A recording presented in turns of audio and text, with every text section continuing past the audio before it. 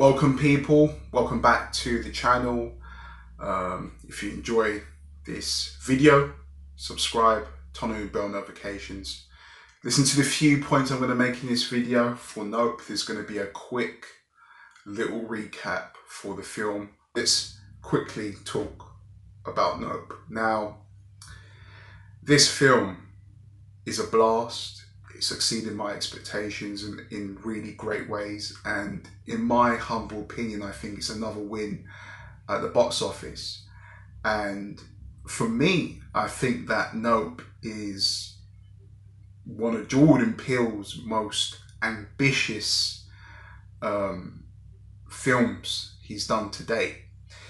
It's similar in the vein of high concept to what Get Out was, but high concept in the nature that this time round he's doing it as a sci-fi survival horror. Now, um, when I say survival horror, he really did meet that genre head on.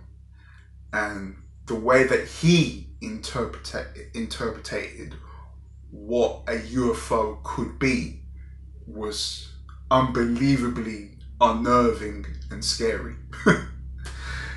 um, cinematography is great, this and that, but I would highly recommend to you guys to go and watch the film.